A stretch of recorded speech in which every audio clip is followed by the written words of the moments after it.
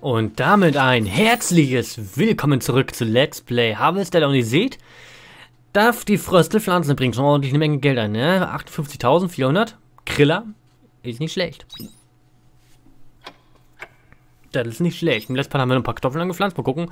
Die sind halt heute noch nicht fertig. Ne? Emo hat aber schon wieder einen neuen Brief geschrieben. Neuer Erstauftritt der Diva. Emo und Schrika, die wollen natürlich direkt, die wollen es direkt wieder wissen, ne? Die wollen es direkt wieder wissen. Aber ich denke mal, wir kümmern uns erstmal um das Feld wieder erneut. Und ich wollte mir eigentlich mal längst noch aufschreiben, die wir wollten mir längst mal irgendwie notieren, wie viele Felder ich hier habe, damit ich mir ein bisschen mehr planen kann. So. Muss auch wieder alles, alles gegossen werden. Ja, die Briefe lesen wir noch, meine Liebe. Keine Sorge. Die werden noch gelesen, aber erstmal muss das Feld gegossen und gemacht werden und so und getutet hier. Das ist halt ganz besonders wichtig. Aktuell gibt es nichts Wichtigeres, weil das ist unser Geld, das wir jetzt bekommen. Und ab jetzt werden wir auch nichts von Neues anpflanzen, weil der Monat ist halt ja in 10 Tagen rum, ne? Oh, guck mal. Kann, konnte jetzt tatsächlich auch mal wieder was gießen.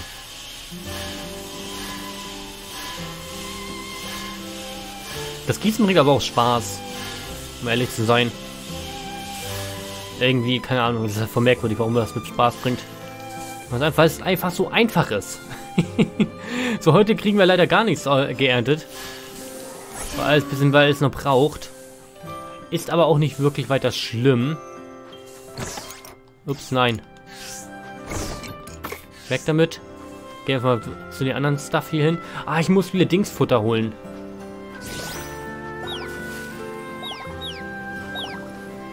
Hier. Ich habe ich hab kein Futter mehr für die... Wie heißen die? Volums? Es ist leer. Ja, es ist leer und ich müsste wieder Neues kaufen. Volumfutter. Machen wir mal, ne? Gehen wir nach Leto, kaufen Volumfutter. Und anschließend machen wir dann eine... Ver nee, erst lesen wir. Erst lesen wir und dann... Eine letzte Aufgabe. Schricker. Vielen Dank nochmal für deine Hilfe mit Herzen. Ich hätte keine Antwort, ich hätte keine Antwort für ihn gehabt, wenn ich ihn allein gegenübertreten wäre. Ich bin dankbar für unsere Freundschaft. Die Angelegenheit ist jedoch noch nicht abgeschlossen, da wir uns noch Mutter stellen müssen. Ich warte am Tempel auf dich, Shrika. Sie sollen wissen, dass es mir gut geht, Emo. Ich würde gerne einmal den Korallenschrein besuchen. Ich möchte meiner Mutter und den anderen Sirenen erzählen, dass die Gedenkfeier ein Erfolg war und ich viele neue Freunde in Schatula habe. Würdest du vielleicht mit mir kommen? Ein? Bitte. Bitte, bitte, bitte. Klar doch. Klar doch. Aber erstmal nach Lete. Korrekt, damit wir äh, Futter kaufen können. Futter.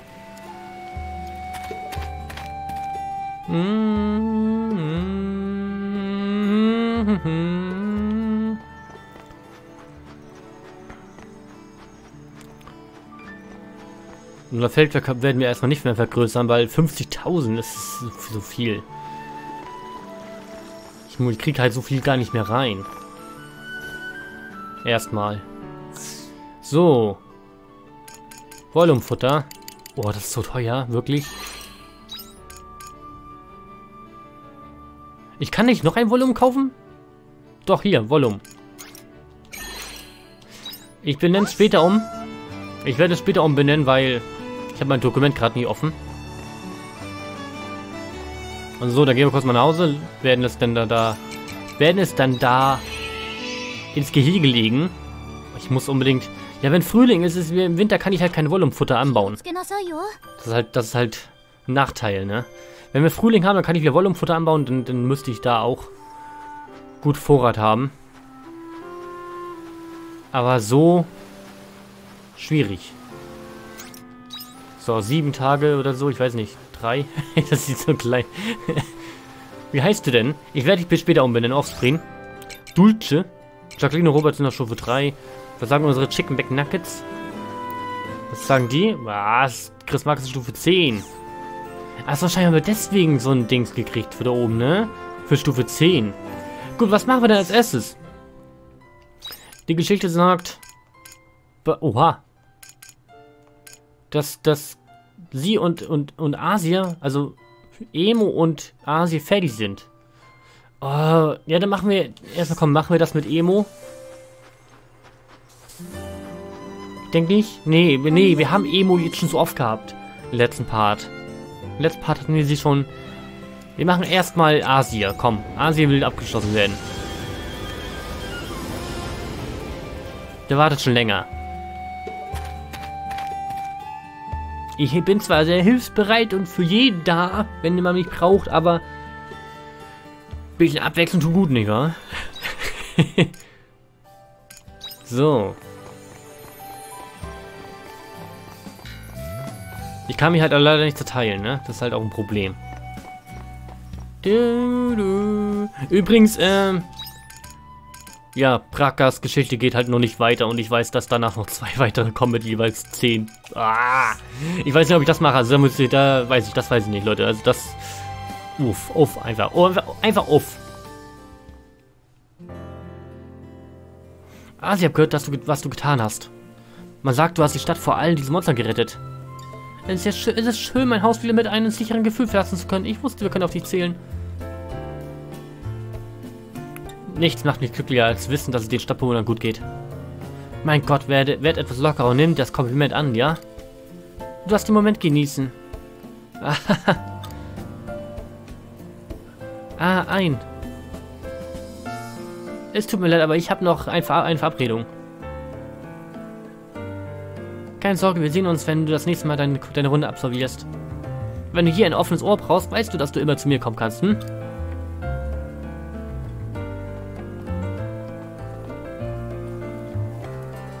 Danke fürs Warten ein. Ich hoffe, ich störe nicht. Oh, keine Sorge, wir haben uns unter nur unterhalten. Ah, das hätte ich fast vergessen. Du bist den ganzen Weg hierher gekommen. Geh mal auf die Aussichtsplattform. Nicht, weil ich nicht will, dass uns jemand zuhört. Ich mag einfach die Aussicht. Aha. Ich verstehe schon. Du Schlawiner, du.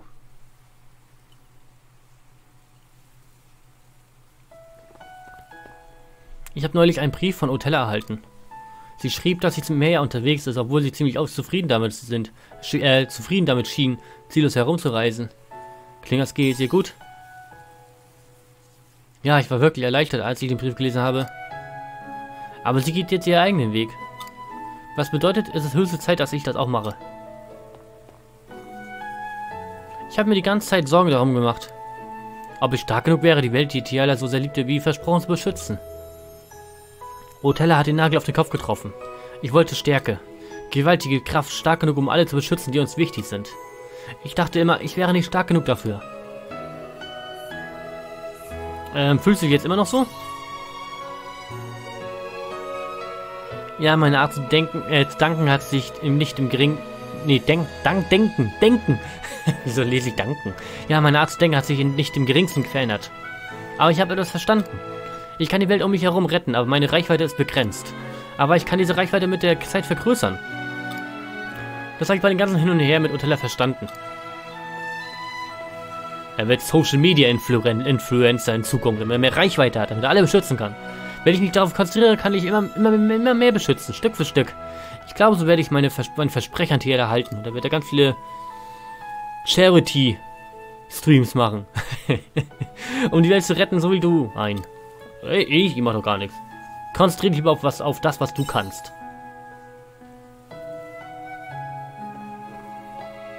Selbst wenn ich allein nicht alle Probleme gleichzeitig lösen kann, werde ich nicht aufgeben. Ich werde tun, was ich kann, um diese Welt best, bestmöglich zu beschützen. Es ist, wie es ist. Genau. Fürs Erste werde ich weiter, weiter mit der Argus-Brigade zusammenarbeiten und mich um diese Stadt kümmern. Ich habe immerhin so viel mit all den unterschiedlichen Leuten hier erlebt. Ein. Ich habe viel durchmachen müssen, um es so weit zu bringen. Deswegen glaube ich, dass jeder einzelne Moment davon eine Bedeutung hat. Tiela zu treffen und dann Otella zu treffen, ganz zu schweigen von dir und Istina. Mich von Tiela zu verabschieden und das Versprechen, das ich ihr gegeben habe. Ich akzeptiere, wer und was ich bin und eines Tages werde ich genauso erblühen wie dieser Kirschbaum. Alles, was ich bis heute durchgemacht habe, hat eine Bedeutung. Ich hoffe, du kämpfst weiter an meiner Seite, bis dieser Tag kommt.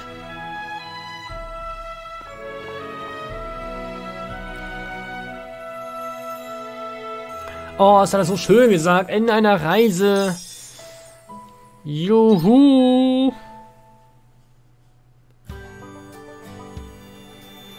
Huch. Da dreht man die einmal um und entdeckt sofort nie mehr Tomatensamen, zwei Stück, ne? Wieso war ich hier noch nie? Hä, wieso habe ich das noch nie mitgenommen? Hä? Ja, man hat, kam ja dazu, da die Kamera zu drehen. Das ist halt auch so ein Ort hier, ne?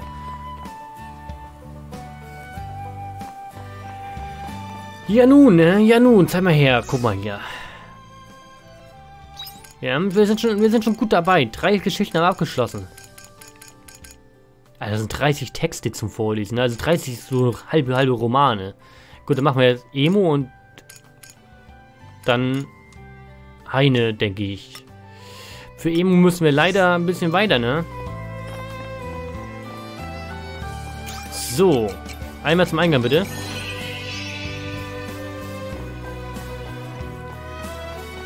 Später müssen wir auch noch mal, noch mal hier hin, weil hier noch eine Sidequest lauert.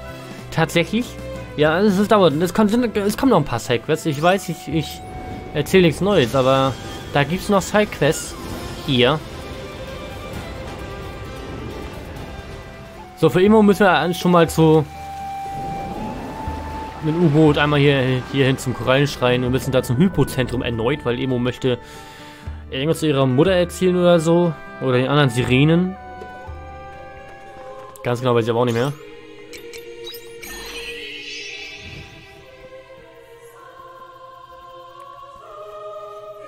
Ähm, genau. Und dann hier lang.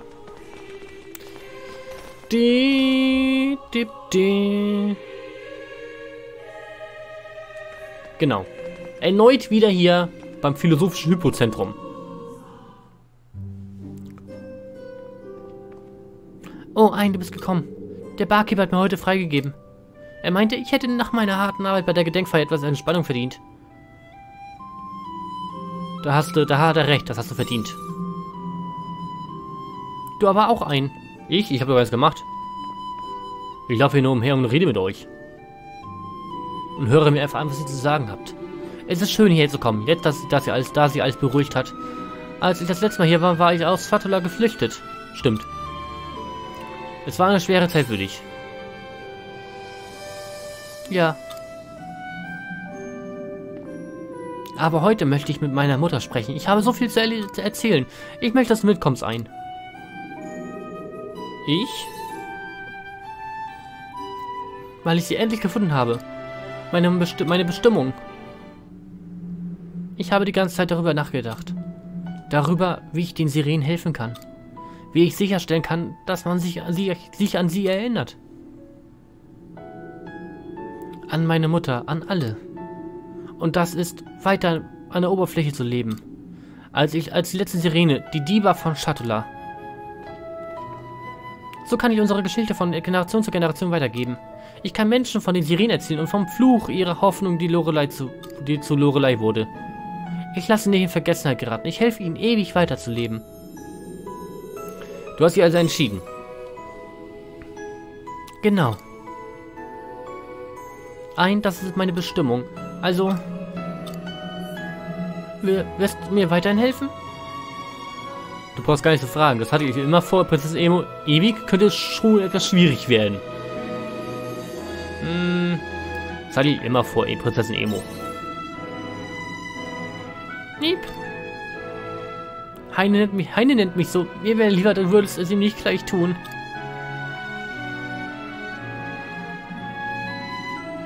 Mutter, ihr alle. Ich habe mich mit so vielen Leuten angefreundet, die mir ans Herz gewachsen sind. Auch wenn ich allein bin, geht es mir gut. Ich weine nicht mehr. Ich hoffe also, dass ihr Frieden findet. Aber bitte wacht weiter über mich.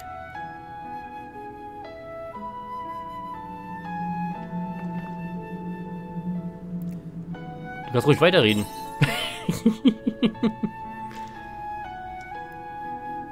Gehen wir ein. Die Bürger von Chatula warten und außerdem steht uns noch ein echtes Abenteuer bevor. Wir haben auch noch zu tun, ja? Also gut, gehen wir. Unser Abenteuer in dem Kapitel 4, ne? Alles klar. Aber das dauert immer lange, Leute. Aber ich würde es gerne alles abhaken, ne? Mutter, ja, alle. Leb wohl, ich verspreche, ich komme bald wieder. Ein neuer Auftritt, Erstauftritt der Diva. Sie ist quasi wie neu geboren. Wow, die Verteidigung nur auf plus 10%, das ist wie mager im Vergleich zu den anderen, ne? Aber hey, das war doch mal im Gesamten eine interessante Geschichte, du, ne? Das war doch mal interessant zu erfahren hier. So. Aber da haben wir noch Zeit, ne? Für Heine und den ganzen Klumpatsch. Wem machen wir das nächstes? Guck mal. Ich denke mal Heine, ne? Der müsste der noch, der hat noch drei, die zwei. Sollten wir ja für die nächsten Part oder in diesen vielleicht sogar, ne, in diesen werden wir es nicht abschließen, aber zumindest in, den, in diesen nächsten und vielleicht eventuell sogar übernächsten, wer weiß, wie viel lange wir brauchen, ne? Aber dann ist vorbei. Wenn die, dann, wenn die auf Stufe 10 sind, dann ist vorbei. Ich glaube zumindest Stufe 10. Wenn, es kommt ja keine... Es kommt, so gut, soweit ich weiß, kommt jetzt auch nichts mehr nach.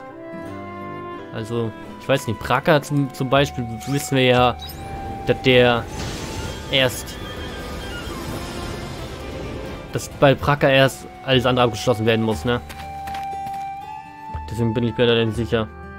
Es kann natürlich sein, dass jetzt bestimmt, dass jetzt nur, dass, dass, dass es jetzt schon die letzten Events sind hier von den beiden. Und dann, dann geht es erst nach, nächst, nach dem nächsten Kapitel los. Oder beziehungsweise weiter. Das weiß man halt ja nicht, ne? Aber solange am nächsten Tag keine Briefe kommen, weiß ich, dass da nichts mehr ist, ne? So, Heine!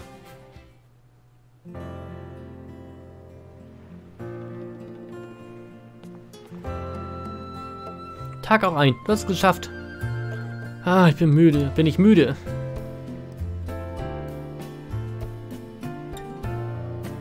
Geht es dir gut, Heine? Ja, ja, es geht mir gut. Tut mir leid, ich war so in meine Forschung vertieft, dass ich kaum geschlafen habe. Ich habe die Gegenstände untersucht, die Fiasola zurückgelassen hat und habe ihr Logbuch durchgelesen.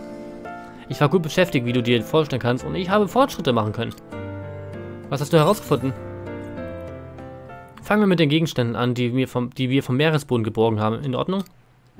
Im Grunde genommen waren das Dinge, die ich mit einem Blick bestimmen konnte. Und viele, viele davon gehörten zu der beschädigten Ausrüstungsfilier Solas.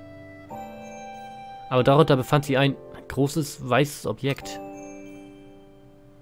Es hat ewig gedauert, bis ich dahinter kam, was es war.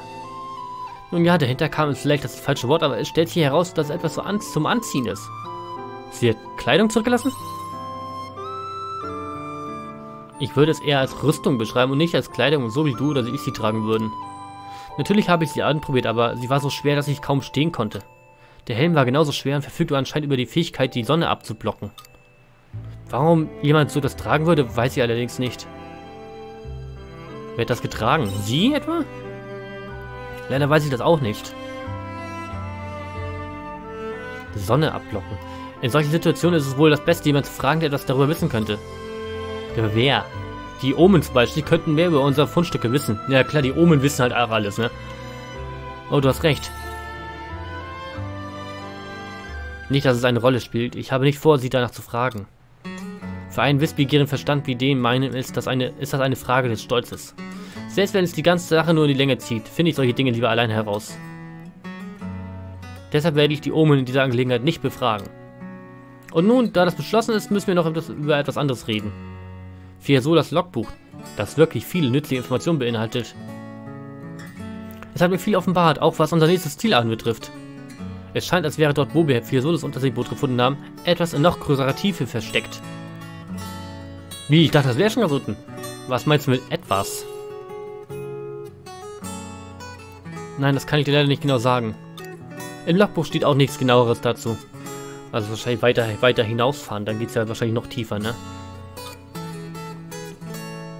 Wir wissen nur, dass Fiasola nach etwas gesucht hat, das noch tiefer liegt, als wir bisher vorgedrungen sind. Vielleicht verstehen wir dann, was sie mit der Zukunft der Vergangenheit gemeint hat.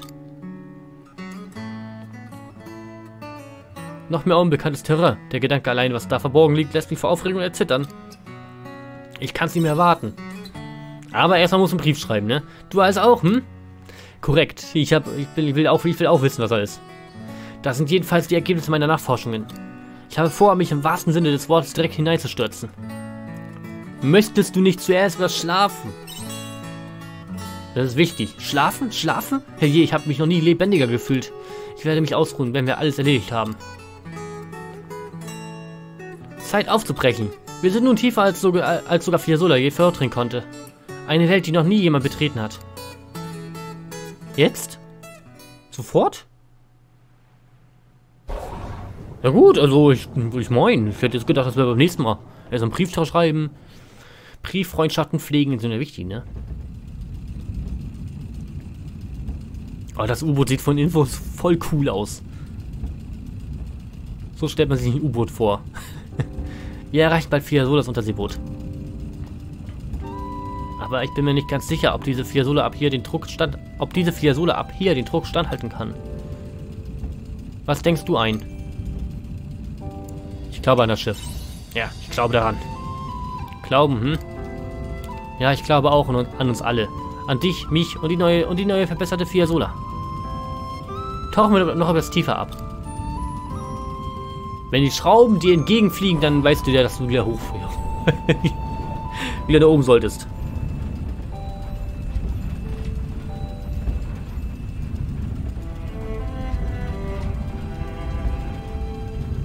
Hm, was ist das? Hast du was gefunden? Ich glaube schon. Sieh mal aus dem Fenster. Der Boden hier sieht aus, als wäre er abgetragen worden. Er sieht definitiv ein wenig anders aus. Du glaubst doch nicht, dass es etwas... Was? Ein! Sieh dir das an! Was denn, was denn, was denn? Monster!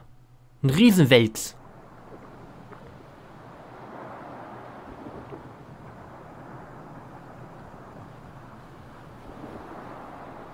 Da steckt etwas fest. Fahren wir ein wenig näher ran. Ist das eine amerikanische Flagge? What the hell?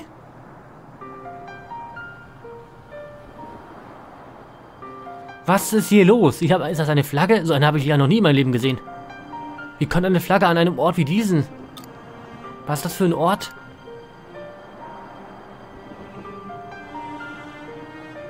Was ist hier... Was? Was? Wie... Moment. Wenn, wenn Fiasola gesagt hat, Zukunft der Vergangenheit. Wenn das eine... Wirklich, das ist halt eine Flagge aus unserer Welt. Also die amerikanische Flagge. Klar, mehr Sterne und so ein Shit. Und äh, zumindest daran angelehnt ist die. Sehr stark. War es nicht so 42 Stände oder ich weiß es nicht mehr ganz genau. Ich müsste es halt googeln. Ich bin halt auch nicht mehr so bewandert bei Flaggenkunde. Wann halt das letzte Mal, wann war ich das letzte Mal in der Schule? ist auch schon ein bisschen her. Äh. Wenn Fiasola damals meinte Zukunft der Vergangenheit, dann denke ich mal, dann, dann meint sie, dann ist das, ist unsere Welt, die wir jetzt haben, die Zukunft? Oder ist das Amerika quasi? Ist Amerika die Ver ist die Welt, in der wir hier im Spiel leben, ist das quasi die Welt, also unsere Welt, nur aus jetzt nur in der Zukunft? Und Amerika ist schon lange vergangen und die Flagge ist quasi zerrottet und zermottet quasi und soll die Zukunft darstellen von der Vergangenheit, die einmal existierte, wie quasi unsere Welt, die damals existierte, nun auf dem Grund des Meeres oder nichts mehr existiert, ich weiß nicht. Ist das die, ich, ich, ich, das ist Krass. Ist das die Zukunft der Vergangenheit? Die Zukunft der Vergangenheit? Aber wie kommt eine Flagge so tief unter Wasser? Wer hat sie hier platziert und wieso? Und wie? Ja, aber wenn das wirklich, wenn das wirklich uralt, wenn die Flagge schon so lange hier ist, ne? Also richtig lange, dann müsste die schon längst aufgelöst sein. Weil das würde ja auch nicht halt, entweder hat sie vielleicht jemand rein platziert, aber ich denke mal so, logisch muss man auch nicht dabei. Hä, das ist auf jeden Fall sehr merkwürdig hier. Wer hat sie hier platziert und wieso und wie? Habe ich alles falsch verstanden? Das ist nicht der Meeresboden. Wir sind an der Oberfläche. Wie, Oberf wie Oberfläche? Fiasola, was hast du nur gefunden? Die, wenn das die Oberfläche ist, warte mal, dann ist die... Ist, ist das eine Fake-Welt auf der echten Welt drauf oder um die echten Welt drauf? Ich verstehe es halt nicht. Ist das nicht so, ist Fake? Ist das unsere Welt eine Fake-Welt, weil die halt auch vom Schloss der Illusion gesprochen haben? Alter, was ist denn, die, was ist denn diese Side-Story hier mit Heine? Was ist das? Das ist ja... Das ist ja schon beinahe... Beinahe Pflicht, das zu absolvieren. Geht es dir gut? Ja, ich habe nur nachgedacht. Wir sollten an die Oberfläche zurückkehren ein. Ich muss sofort mehr über dieses Gebiet erfahren. Das ist ja beinahe schon Pflicht, das hier zu spielen. Hä? Dass das nicht zur Hauptstory gehört. Danke, dass du mich bis dorthin begleitet hast ein. Das ist wirklich ein Anblick, ja. Wenn Fee so lange nach diesem Ort gesucht hat, dann hat sie wahrlich eine beeindruckende Entdeckung gemacht. Nun denn, ein... Trennen wir uns hier. Ich lege mich ein wenig aufs Ohr und mache dann mit meiner Nachforschung weiter. Danach, wenn ich irgendwas finde, melde ich mich bei dir. Passt so lange auf die auf. Das ist äußerst merkwürdig. Jene, die folgen. Jene, die... Jene, die folgen werden. Dass das nicht das Finale ist, ne? Was ist denn los?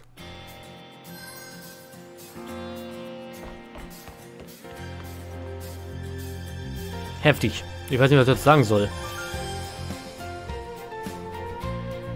Also irgendwas scheint ganz gewaltig mit unserer Welt nichts nicht zu stimmen.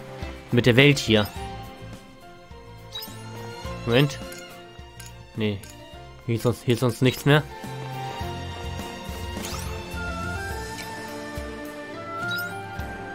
Nee, also...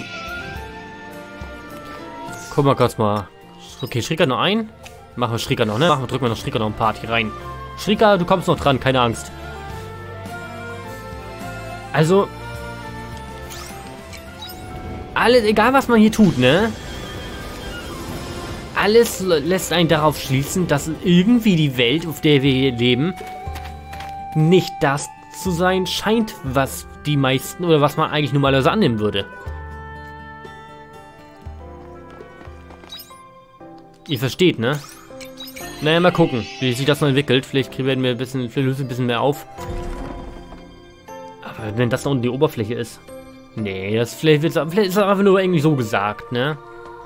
Die Charaktere im Spiel rätseln ja auch quasi ein bisschen mit. Gut, Schrika. Du wolltest nochmal mit Dings reden, ne? Auf jeden Fall ist alles sehr merkwürdig. Alles sehr merkwürdig. Alles. Danke fürs Kommen ein. Wenn du soweit bist, machen wir uns auf den Weg zur Heiligen Mutter. Ich bin soweit, also ich bin extra deswegen wegen dir hergekommen, also. Hä? Geh hin. Danke fürs Warten, Heilige Mutter. Wie bereits gesagt, wollte ich mich gerne eine Weile mit dir unterhalten. Missionarin Shrika Viramand. Ich habe mich schon auf, Gespräch, auf unser Gespräch gefreut. Ach ja? Tja, ich hoffe, unser Gespräch wird deiner Erwartung gerecht. Ich komme gleich zur Sache. Was hast du mit der Menschheit vor? Du hast die Universalschriften erstellt, um uns zu mäßigen, um uns Ordnung zu verschaffen. Tersen nannte es Herrschaft. Ist das dein Plan, heilige Mutter? Willst du die Menschheit beherrschen? Meine Entwurfsphilosophie, meine Entwurfsphilosophie lautet, den Frieden und die Stabilität der Menschheit zu wahren. Die Barbarenrasse dieser Erde besaß keinerlei Intelligenz und kannte nichts außer Gewalt. Darum hielt ich es für nötig, mäßigend einzuschreiten. Falls nötig, werde ich der Menschheit auch in Zukunft weiter den Weg weisen. Verstehe. Was meinst du ein? Was soll ich meinen? Sollen wir die Heilige Mutter zerstören? Oder lassen wir sie weiter über uns wachen? Wenn es das Chaos beendet und für die Stadtbewohner nie wieder alles wie früher wird, wäre es vielleicht gar nicht so schlecht, wie sie alle als, sie als mäßige Kraft zu behalten. Ich weiß nicht, was besser ist. Bitte verzeih mir, es war nicht fair von mir, dir die, diese Frage aufzudrängen. Ehrlich gesagt bin ich mir nicht sicher, ob es überhaupt eine Antwort gibt. Aber wir können die Erhaltung der Menschheit nicht der Heiligen Mutter, die Mutter überlassen. Also werde ich, Patri also werde ich Patriarchin. Schaffst du das alleine? Mach dir keine Sorgen, darüber habe ich bereits nachgedacht. Missionarin Viramant. Durch Annahme des Amtes der Patriarchen erklärst du meine Rolle als nicht mehr erforderlich? Das weiß ich erst, wenn ich es versuche. Aber wir werden nichts erreichen, wenn ich schon aufgebe, bevor ich überhaupt angefangen habe. Alles, was wir jetzt haben, wurde uns zweifelsohne von dir geschenkt, heilige Mutter. Unsere Prinzipien, die Legenden des Ordens, zu erfahren, dass alles frei erfunden war, war ein absoluter Schock. Ehrlich gesagt überkam mich eine rasende Wut. Aber ich denke nicht, dass deine Lehren grundsätzlich falsch waren. Und ich denke auch nicht, dass die Ideale, die du verbreitest, zu unserem Nachteil sind. Du hast uns nicht gesteuert, du hast an unserer Seite gelebt. Als Patriarchin werde ich allen, die mir zuhören wollen, meine eigenen Lehren beibringen. Und hierbei, Mutter, wäre ich für deine Hilfe dankbar. Hilfe? Mir fehlt das, perfekt, das perfekte Argument gegen deine Erforderlichkeit als mäßigende Kraft. Ich brauche deine Hilfe. Du hast der Menschheit geholfen, ein Leben voller Frieden und Stabilität zu führen. Alles, was ich nicht bewältigen kann, können wir zusammen bewältigen. Stimmt, stimmt, stimmst du mir dazu? Ich stimme zu. Etwas ähnliches steht auch in den Universalschriften, was dies auf menschlicher Ebene zu einem universellen, universellen moralischen Prinzip macht. Ich glaube, dass wir diesen Pfad gemeinsam beschreiten können. Wie gute Nachbarn. Was meinst du, Mutter? Du musst es nicht allein bewältigen. Zusammen können wir eine wunderbare Zukunft schaffen. Shrika Viramant. Ich habe auf den Tag gewartet, an dem jemand mit solchen Gedanken kommt. Meine, wahren, meine wahre Entwurfsphilosophie lautet, Frieden und Stabilität für, für, die Menschen zu wahren an ihrer Seite. Möglicherweise kann ich endlich meine wahre Bestimmung, Bestimmung erfüllen. Dann sind unsere Verhandlungen abgeschlossen? Korrekt. Seid ihr jetzt Verbündete? Niemand ist stark genug, um ganz allein durchs Leben zu gehen. Genau deshalb wollte ich mich mit ihr zusammentun und gemeinsam weitermachen. Ich glaube nicht, dass ich diese Entscheidung ohne dich je hätte treffen können. Also vielen Dank ein. Ich habe doch gar nichts gemacht. So nichts los. Bin doch nur, ich bin doch nur hier da. mit dieser Antwort habe ich nicht gerechnet. Die einfachsten Worte und Taten haben oft die größte Wirkung. Wie dem auch sei. Wenn ich Patriarchin bin, wird alles noch viel hektischer werden. Davon gehe ich auch aus, Schrika, aber ich glaube an deinen Erfolg. Vielen Dank für, deine Vertrau für dein Vertrauen. Gibst also dein Missionarsamt auf? Das ist sehr wahrscheinlich, ja. Vielleicht sollte ich die Welt mit dir bereisen und erkunden, für den Orden. Außerdem wäre ich ohne deine Hilfe total aufgeschmissen gewesen. War nur ein Witz. Danke. Schließlich kann ich noch selbstständig denken. Unterhalten wir uns, wenn wir uns nicht mehr wiedersehen. Auf Wiedersehen.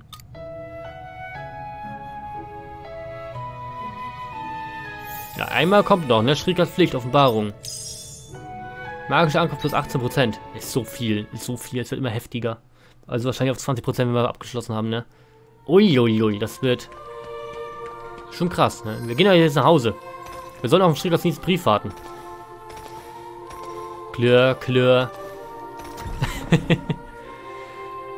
hm. Es ist auf jeden Fall ein sehr interessantes Spiel, wenn man halt mehr, wenn die Story sich langsam und sicher entfaltet, dann dann bringt das schon Spaß, ein bisschen so Rätsel, ne? Ein bisschen wie so ein Puzzle zusammenzusetzen irgendwie. Nun gut. Nun gut, ich lagere nochmal ganzen Shit ein, den wir gesammelt haben. Das muss ja auch weg, ne? So, das brauchen wir ja nicht das Lager damit. Und, ja. So, Eiers. Tomaten, Frühling, Sommer wiederkehrend. Ganz anderen Stuff. Die, die hier kommen weg. Zack. Ähm, ja, gegossen haben wir schon alles. Und da würde ich sagen, machen wir im nächsten Mal weiter. Ich bedanke mich bei euch fürs Zusehen. Lasst gerne Like und Kommentar da und abonniert, damit ihr nichts verpasst. Und bis zum nächsten Mal. Haut rein und tschüss.